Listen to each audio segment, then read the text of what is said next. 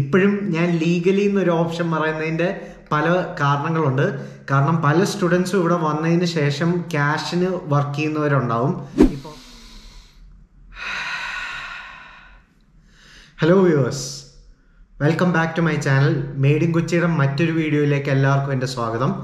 ഇന്നത്തെ വീഡിയോയിൽ നമ്മൾ എടുക്കാൻ ഉദ്ദേശിക്കുന്നത് എക്സ്പെൻസ് അഥവാ earning capacity for students in Australia നമ്മൾ ആദ്യമേ തന്നെ സ്റ്റുഡന്റ് വിസയിൽ വരുന്ന സമയത്ത് എത്രമാത്രം ഒരു സ്റ്റുഡന്റിന് ഏൺ ചെയ്യാൻ പറ്റും പിന്നെ മാസം വരുന്ന എക്സ്പെൻസ് എന്തൊക്കെയാണ് പിന്നെ യൂണിവേഴ്സിറ്റിയുടെ ഫീസ് നമ്മൾ സ്റ്റുഡന്റ് വിസയിൽ നിന്നുകൊണ്ട് കവർ ചെയ്യാൻ പറ്റുമോ അങ്ങനത്തെ ചോദ്യങ്ങളൊക്കെ ആൻസർ ചെയ്യാനാണ് ഇന്നത്തെ വീഡിയോ മെയിനായിട്ട് ഉദ്ദേശിക്കുന്നത്.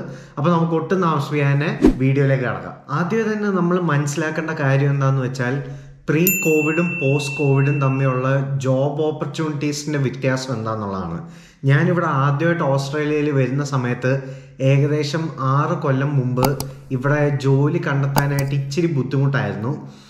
ആ സമയത്ത് ആൾക്കാർ ഇഷ്ടം പോലെ ഇവിടെ ഓസ്ട്രേലിയയിൽ ഉണ്ടായിരുന്നു ജോലി കണ്ടുപിടിക്കുന്നത് എങ്ങനെയാന്ന് വെച്ച് കഴിഞ്ഞാൽ മെയിനായിട്ട് നമ്മുടെ ഫ്രണ്ട്സ് അല്ലെങ്കിൽ പരിചയക്കാർ ത്രൂ ആണ് നമ്മൾ ജോലി കണ്ടുപിടിച്ചുകൊണ്ടിരുന്നത് ഏകദേശം ആറ് വർഷം മുന്നേ. പക്ഷേ കോവിഡ് ഹിറ്റ് ചെയ്തതിന് ശേഷം ടോട്ടലി ഡിഫറെന്റ് ഗെയിമായി നമ്മൾ വർക്ക് റേറ്റ് നോക്കുകയെന്നുണ്ടെങ്കിൽ സ്റ്റുഡൻസിന് അൺലിമിറ്റഡ് വർക്ക് റേറ്റ് കൊടുത്തു കോവിഡ് വന്ന സമയത്ത്. ജോലിയുടെ കാര്യത്തിലാണെങ്കിലോ ഡിമാൻഡ് വളരെയധികം കൂടുതലായിരുന്നു പക്ഷേ സപ്ലൈ ഇല്ലായിരുന്നു. ഞാൻ സംസാരിക്കുന്നത് ലേബറേഴ്സിന്റെ കാര്യമാണ്. ഇഷ്ടംപോലെ കമ്പനികൾക്ക് എംപ്ലോയീസിന് ആവശ്യം ഉണ്ടായിരുന്നു. പക്ഷേ ഇവർ ബോർഡർ രണ്ടര വർഷമോളം അടച്ചുകൊണ്ട് എംപ്ലോയീസിനെ കിട്ടാനില്ലായിരുന്നു. അതുകൊണ്ട് ഒരാൾക്ക് ജോലി കണ്ടെത്തുക എന്ന് പറയുന്നത് വളരെയധികം സിമ്പിളായിരുന്നു കോവിഡിന്റെ സമയത്ത്. ഞാൻ കോവിഡിന്റെ ടൈമിലാണ് മെയിനായിട്ട് പ്രൊഫഷണൽ എഞ്ചിനീയർ ആയിട്ട് ഒരു ജോലിയിലേക്ക് എനിക്ക് മാറാൻ പറ്റിയത്. അത് കോവിഡ് വന്നുകൊണ്ട് മാത്രമാണ് കേട്ടോ. കോവിഡ് വന്ന സമയത്ത് നമുക്ക് ഒരുപാട് അഡ്വാന്റേജ് ഉണ്ടായിരുന്നു ഇവിടെ ഉണ്ടായിരുന്ന സമയത്ത്. അതുപോലെ തന്നെ കോവിഡിന് ശേഷം ഇപ്പോൾ ഉള്ള ട്രെൻഡ് എന്താന്ന് വെച്ച് കഴിഞ്ഞാൽ ആ അൺലിമിറ്റഡ് വർക്ക് റേറ്റ് സ്റ്റുഡൻസിനുണ്ടായിരുന്ന അവരെടുത്ത് മാറ്റി. അപ്പോൾ പ്രീ കോവിഡ് എന്ന് പറഞ്ഞു കഴിഞ്ഞാൽ ഒരാഴ്ച ഏകദേശം നമുക്ക് സ്റ്റുഡൻസിന് ഇരുപത് മണിക്കൂറായിരുന്നു ഒരാഴ്ച വർക്ക് റേറ്റ് ഉണ്ടായിരുന്നത്. കോവിഡ് വന്നപ്പോൾ അൺലിമിറ്റഡ് ആക്കി. പോസ്റ്റ് കോവിഡ് അത് ഇരുപത്തിനാല് മണിക്കൂർ പെർ വീക്കായി അപ്പോഴും പ്രീ കോവിഡിനെ വെച്ച് നോക്കുമ്പോൾ നാല് മണിക്കൂർ എക്സ്ട്രാ ഒരു ആഴ്ച ഒരു സ്റ്റുഡന്റ് വിസയിൽ വരുന്ന ആൾക്ക് വർക്ക് ചെയ്യാവുന്നതാണ് ഇതുകൊണ്ട് പറയാൻ ഉദ്ദേശിക്കുന്നത്. അപ്പൊ അതാണ് മെയിൻ ആയിട്ടൊരു കോണ്ടെക്സ്റ്റ് എന്ന് പറഞ്ഞു കഴിഞ്ഞാൽ ഇപ്പോഴത്തെ എംപ്ലോയ്മെന്റ് സിറ്റുവേഷൻ എന്ന് പറഞ്ഞാൽ ഇനിയിപ്പോൾ ജോലി കണ്ടെത്തുന്നതിന്റെ കേസിൽ കോവിഡ് ഉണ്ടായിരുന്ന സമയത്ത് അത്ര എളുപ്പമല്ല ഇപ്പം നമുക്ക് ജോലി കണ്ടുപിടിക്കാൻ. പക്ഷേ എങ്കിലും കോവിഡിന് മുന്നത്തേനെക്കാട്ടിലും എളുപ്പമാണെന്ന് ഞാൻ വിശ്വസിക്കുന്നു. കാരണം പണ്ട് ഓൺലൈനായിട്ടുള്ള പ്ലാറ്റ്ഫോംസ് ജോലി കണ്ടെത്താനായിട്ട് ആൾക്കാർ യൂസ് ചെയ്യുന്ന വളരെ കുറവായിരുന്നു. ഇപ്പോൾ ഗം ട്രീ ലിങ്ക്ഡിന് ഫേസ്ബുക്കിൽ ഇഷ്ടംപോലെ ഗ്രൂപ്പ്സ് ഉണ്ട്. സീക്ക് അങ്ങനെ ഇഷ്ടംപോലെ ഓൺലൈൻ പ്ലാറ്റ്ഫോംസ് ഇപ്പോൾ വന്നിട്ടുണ്ട് നമുക്ക് ജോലി കണ്ടെത്താനായിട്ട്. അതുകൊണ്ട് എനിക്ക് തോന്നുന്നു പോസ്റ്റ് കോവിഡ് ഇപ്പോഴും നമുക്ക് ഇഷ്ടം പോലെ ഓപ്പർച്യൂണിറ്റീസ് ഉണ്ട് ഒരു ജോലി കണ്ടുപിടിക്കാൻ എന്നുള്ളത്. അടുത്തതെന്ന് പറയുന്നത് ഏർണിംഗ് കപ്പാസിറ്റി സ്റ്റുഡന്റ് വിസയിൽ വരുമ്പോൾ എത്രമാത്രം നമുക്ക് ഉണ്ടാക്കാൻ പറ്റും എന്നുള്ളതാണ്. അത് മനസ്സിലാക്കാനായിട്ട് ഞാൻ ചെറിയൊരു കാൽക്കുലേഷൻ ചെയ്തിട്ടുണ്ട്. അപ്പോൾ ഞാൻ എന്റെ സ്ക്രീൻ ഷെയർ ചെയ്യാൻ പോവാണ്. ഓക്കെ അപ്പോൾ ഈ കാണുന്ന ഒരു ബേസിക് ആയിട്ടുള്ള ഒരു കാൽക്കുലേഷനാണ് ഒരു എക്സൽ സ്പ്രെഡ്ഷീറ്റിൽ ഞാനൊരു എഞ്ചിനീയർ എന്നുള്ള രീതിയിൽ മാക്സിമം എന്താ പറയുക ടെക്നിക്കലായിട്ടുള്ള ഇൻഫർമേഷൻ ആണ് നിങ്ങളുടെ മുമ്പിൽ തരാൻ ഉദ്ദേശിക്കുന്നത്. ഈ കാണുന്ന സ്ലൈഡിന്റെ ബാക്കിൽ ഞാൻ ചെയ്തേക്കുന്ന ഇൻഫർമേഷനും കിടപ്പുണ്ട്. അപ്പോൾ എല്ലാം കൂടെ ഒരുമിച്ച് കാണിക്കുന്നതിനെക്കാട്ടിലും ഭേദം സ്റ്റെപ്പ് ബൈ സ്റ്റെപ്പ് നിങ്ങളെ വാക്ക് ത്രൂ ചെയ്യുന്നതായിരിക്കും കുറച്ചുകൂടെ ഭേദം. അല്ലെങ്കിൽ നിങ്ങൾക്ക് എല്ലാം കൂടെ കണ്ട് തലയ്ക്ക് ഭ്രാന്ത് പിടിക്കും. അതുകൊണ്ട് വൺ ബൈ വൺ ആയിട്ട് നമുക്ക് ഇത് ഡിസ്കസ് ചെയ്യാം. അപ്പോൾ ആദ്യത്തെ കാര്യം നമ്മൾ മനസ്സിലാക്കേണ്ടത് മിനിമം ലേബർ വേജ് ആണ്.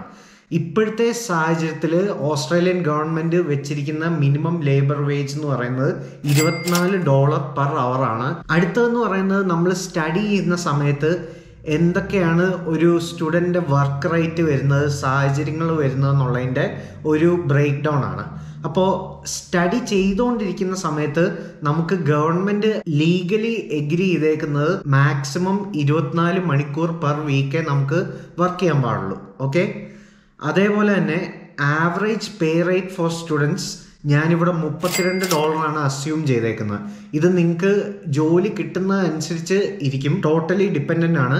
പക്ഷേ നമ്മളിപ്പോൾ ഓരോ വെബ്സൈറ്റിൽ നോക്കുക എന്നുണ്ടെങ്കിൽ ചുമ്മാ ഗൂഗിളിൽ സെർച്ച് ചെയ്ത് നോക്കിയാൽ പോലും നമുക്ക് പല വെബ്സൈറ്റിലും കാണിക്കുന്ന ഒരു ആവറേജ് പേ റേറ്റ് സ്റ്റുഡൻസിനുള്ളത് മുപ്പത്തിരണ്ട് ഡോളറാണ് നിങ്ങൾ ആവറേജ് മുപ്പത്തിരണ്ട് ഡോളറാണ് പെർ അവർ ഏൺ ചെയ്യുന്നു എന്നുണ്ടെങ്കിൽ നിങ്ങളുടെ പൊട്ടൻഷ്യൽ വീക്ക്ലി പേ എന്ന് പറയുന്നത് എഴുന്നൂറ്റി അറുപത്തി എട്ട് ഡോളറാണ് പെർ വീക്ക് ഇരുപത്തിനാല് മണിക്കൂറാണ് നിങ്ങൾക്ക് മാക്സിമം വർക്ക് ചെയ്യാൻ പറ്റുള്ളൂ ഓക്കെ ഇനി മന്ത്ലി പേ എന്ന് പറയുന്നത് ദാറ്റ് ടൈംസ് ഫോർ ആണ്. അതായത് ഏകദേശം ഒരു മൂവായിരം എ യു ഡി നിങ്ങൾക്ക് പെർ മന്ത് നിങ്ങൾക്ക് ഉണ്ടാക്കാൻ പറ്റും ലീഗലി ഇപ്പോഴും ഞാൻ ലീഗലി എന്നൊരു ഓപ്ഷൻ പറയുന്നതിന്റെ പല കാരണങ്ങളുണ്ട്. കാരണം പല സ്റ്റുഡൻസും ഇവിടെ വന്നതിന് ശേഷം ക്യാഷിന് വർക്ക് ചെയ്യുന്നവരുണ്ടാവും. ഇപ്പോൾ പിസ്സ ഷോപ്പിലോ അല്ലെങ്കിൽ ഇന്ത്യൻ റെസ്റ്റോറന്റ്സിലോ ഒക്കെ അങ്ങനെയുള്ള സ്ഥലത്തൊക്കെ ആണെന്നുണ്ടെങ്കിൽ നമുക്ക് ക്യാഷിന് പണിയെടുക്കാൻ പറ്റും. അപ്പോൾ എക്സ്ട്രാ ഒരു സോഴ്സ് ഓഫ് ഇൻകം ആണത്.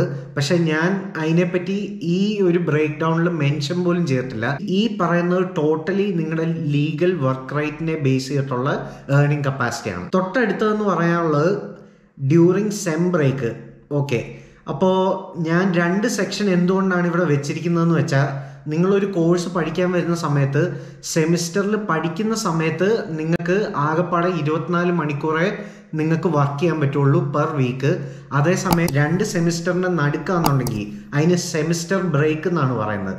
ആ ബ്രേക്കിന്റെ ടൈമിൽ നിങ്ങൾക്ക് അൺലിമിറ്റഡ് വർക്ക് റേറ്റ് ആണ്. ഒരു എംപ്ലോയിയുടെ ആവറേജ് വർക്ക് അവർ എന്ന് പറയുന്നത് നാൽപ്പത് മണിക്കൂർ പെർ വീക്കാണ് ഈ നാൽപ്പത് മണിക്കൂർ എങ്ങനെയാണ് നമ്മൾ കണ്ടെത്തിയത്? എട്ട് മണിക്കൂറാണ് ഒരു ദിവസത്തെ ഷിഫ്റ്റ് എട്ട് മണിക്കൂർ ഇന്റു അഞ്ച് ദിവസം. അങ്ങനെയാണ് നാൽപ്പത് മണിക്കൂർ പെർ വീക്ക് എന്ന് പറയുന്ന സ്റ്റാൻഡേർഡ് വർക്ക് അവർ കണ്ടുപിടിക്കുന്നത്. ഇപ്പം ഞാൻ വർക്ക് ചെയ്യുന്ന കമ്പനിയിലും മുപ്പത്തെട്ട് മണിക്കൂറാണ് പെർ വീക്ക് ഞങ്ങൾക്ക് വർക്കുള്ളത് അപ്പോൾ നിങ്ങൾ ലീഗലി ഏതൊരു കമ്പനിയിൽ വർക്ക് ചെയ്യുമ്പോൾ നിങ്ങൾക്ക് ഫുൾ ടൈം ഉള്ള സമയത്ത് നിങ്ങൾക്ക് നാൽപ്പത് മണിക്കൂർ നിങ്ങൾക്ക് വർക്ക് ചെയ്യാൻ പറ്റും. അല്ലെങ്കിൽ നിങ്ങൾക്ക് ഇതിൽ കൂടുതൽ വർക്ക് ചെയ്യാൻ പറ്റും. ഓവർ ടൈം പേ വെച്ചിട്ട് അത് അപ് ടു യു പക്ഷേ ഈ ഓവർ ടൈമിന്റെ കേസും ഞാൻ ഇതിനകത്ത് മെൻഷൻ ചെയ്തിട്ടില്ല. വെറും സ്റ്റാൻഡേർഡ് വർക്ക് റേറ്റ് ആണ് ഈ പറയുന്നത്. സെം ബ്രേക്കിന്റെ സമയത്ത് ഒരു സ്റ്റുഡന്റിന് നാൽപ്പത് മണിക്കൂർ വർക്ക് ചെയ്യാൻ പറ്റും. അവിടെയും ആവറേജ് പേ റേറ്റ് എന്ന് പറയുന്നത് മുപ്പത്തിരണ്ട് ഡോളർ തന്നെയാണ് നമ്മൾ അസ്യൂം ചെയ്യുന്നത്. അപ്പോൾ പൊട്ടൻഷ്യൽ വീക്ക്ലി പേ എന്ന് പറയുന്നത് ആയിരത്തി ഇരുന്നൂറ്റി എൺപത് ഡോളറിലേക്ക് മാറും. എഴുന്നൂറ്റി അറുപത്തെട്ടിൽ നിന്ന് അതേപോലെ തന്നെ മന്ത്ലി ഏർണിംഗ് കപ്പാസിറ്റി എന്ന് പറയുന്നത് അയ്യായിരം ഡോളറിലേക്ക് മാറും. പക്ഷേ ഈ സെമിസ്റ്റർ ബ്രേക്ക് എന്ന് പറയുന്നത് വർഷത്തിൽ മൂന്ന് മാസം ഉണ്ടാകത്തുള്ളൂ. അപ്പോൾ അത് ഞാൻ ഫർദർ ഈ വീഡിയോയിൽ എക്സ്പ്ലെയിൻ ചെയ്യുന്നതായിരിക്കും. അടുത്ത സെക്ഷൻ എന്ന് പറയുന്നത് നിങ്ങളുടെ എക്സ്പെൻസ് ഫോർ സ്റ്റുഡൻസ് ആണ്. അഥവാ മന്ത്ലി എക്സ്പെൻസ് ഫോർ സ്റ്റുഡൻസ് ആണ്. അപ്പോൾ ആദ്യം തന്നെ വരുന്ന എക്സ്പെൻസ് എന്ന് പറയുന്നത് ഷെയർഡ് അക്കോമഡേഷൻ ആണ്. നിങ്ങൾ സ്റ്റുഡന്റ് വിസയിൽ വരുന്ന സമയത്ത് നിങ്ങൾ സിംഗിൾ ആണെന്നുണ്ടെങ്കിൽ മാരീഡ് ആയിട്ടല്ല നിങ്ങൾ വരുന്നതെന്നുണ്ടെങ്കിൽ ഒരു ഷെയർഡ് അക്കോമഡേഷൻ ആയിരിക്കും നിങ്ങൾ എടുക്കുന്നത്. കാരണം നിങ്ങൾ ആദ്യം തന്നെ ഇവിടെ ഓസ്ട്രേലിയയിൽ വരുമ്പോൾ നിങ്ങളുടെ ബഡ്ജറ്റ് ഭയങ്കര അധികം കുറവായിരിക്കും. അതുകൊണ്ടാണ് ഞാൻ ഷെയർഡ് അക്കോമഡേഷൻ ഇവിടെ മെൻഷൻ ചെയ്തിരിക്കുന്നത്. അതിന് പെർ മന്ത് വരുന്നത് അഞ്ഞൂറ് ഡോളർ ആയിരിക്കും. പിന്നെ ഫുഡ് എന്ന് പറയുന്നത് എഗെയിൻ രണ്ട് ടൈപ്പ് ഉണ്ട് ഇവിടെ. നമുക്ക് വീട്ടിലുണ്ടാക്കുന്ന ഫുഡും ഉണ്ട് നമ്മൾ പുറത്തുനിന്ന് കഴിക്കുന്ന ഫുഡും ഉണ്ട്. അപ്പോൾ വീട്ടിൽ നിന്ന് ഉണ്ടാക്കുന്ന ഫുഡാണ് എപ്പോഴും ചീപ്പായിട്ടുള്ളത് അല്ലെങ്കിൽ അഫോർഡബിൾ ആയിട്ടുള്ളത്. അപ്പോൾ ഹോംലി ഫുഡാണ് നിങ്ങൾ ഉണ്ടാക്കുന്നതെന്നുണ്ടെങ്കിൽ നാനൂറ്റമ്പത് എ യു ഡി വരും പെർ മന്ത് അത് റഫായിട്ടുള്ള ഒരു ഫിഗറാണ് കേട്ടോ. പിന്നെ മെഡിക്കൽ ഇൻഷുറൻസിന് നൂറ് ഡോളർ പബ്ലിക് ട്രാൻസ്പോർട്ടാണ് നിങ്ങൾ യൂസ് ചെയ്യുന്നതെന്നുണ്ടെങ്കിൽ നിങ്ങൾക്ക് യൂണിവേഴ്സിറ്റിയിൽ ആഴ്ചയിൽ രണ്ട് ദിവസമെങ്കിലും പോകണമല്ലോ അപ്പോൾ അത് കവർ ചെയ്യുന്നതാണ് ഈ അറുപത്തിനാല് ഡോളർ പിന്നെ എന്റർടൈൻമെന്റ് നിങ്ങൾ മൂവീസിന് വല്ലതും പോകുന്നുണ്ടെങ്കിൽ അതിന് അഡീഷണൽ അമ്പത് ഡോളർ വെച്ചിട്ടുണ്ട്.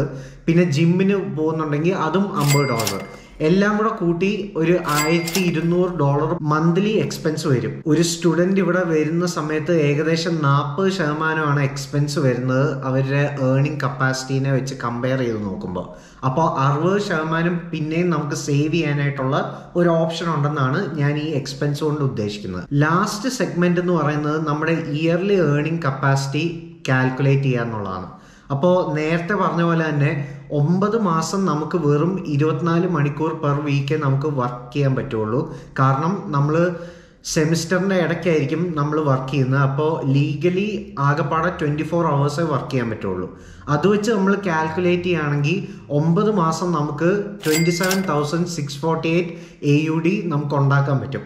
അതേപോലെ തന്നെ മൂന്ന് മാസം അൺലിമിറ്റഡ് വർക്ക് റേറ്റ് വെച്ച് നാൽപ്പത് മണിക്കൂറാണ് നമ്മൾ വർക്ക് ചെയ്യുന്നതെന്നുണ്ടെങ്കിൽ ഏകദേശം പതിനയ്യായിരത്തി മുന്നൂറ്ററുപത് എ യു ഡി നമുക്ക് ഉണ്ടാക്കാൻ പറ്റും. അപ്പോൾ total yearly earning potential for students എന്ന് പറയുന്നത് ആവറേജ് ആയിട്ട് വരുന്നത് നാൽപ്പത്തി മൂവായിരം ഡോളറാണ് പിന്നെ ലാസ്റ്റ് ലൈൻ എന്ന് പറയുന്നത് നമുക്ക് സേവിങ്സ് ഉണ്ടാക്കാൻ പറ്റുന്നത്. ഇയർലി സേവിങ്സ് ഞാൻ നേരത്തെ പറഞ്ഞ പോലെ തന്നെ നാൽപ്പത് ശതമാനം എക്സ്പെൻസും അറുപത് ശതമാനം സേവിങ്സും ആണെന്നുള്ള ഒരു എസ്റ്റിമേറ്റ് വെച്ച് ഇരുപത്തയ്യായിരത്തി എണ്ണൂറ്റഞ്ച് എ യു ഡി ഒരു വർഷം നമുക്ക് സേവ് ചെയ്യാൻ പറ്റും. അപ്പോൾ R M I T university എന്ന് പറയുന്നത് ഒരു എക്സാമ്പിളായിട്ട് നമ്മൾ കണക്ക് കൂട്ടുകയാണെങ്കിൽ അവരുടെ മാസ്റ്റർ ഓഫ് ബിസിനസ് അഡ്മിനിസ്ട്രേഷൻ എന്ന് പറയുന്ന കോഴ്സ് ഓൺ ക്യാമ്പസ് നമ്മൾ എടുക്കുകയാണെങ്കിൽ രണ്ട് വർഷത്തെ കോഴ്സിന് വരുന്നത് നാൽപ്പത്തെണ്ണായിരത്തി തൊള്ളായിരത്തി അറുപത് എ യു ഡി ആണ്.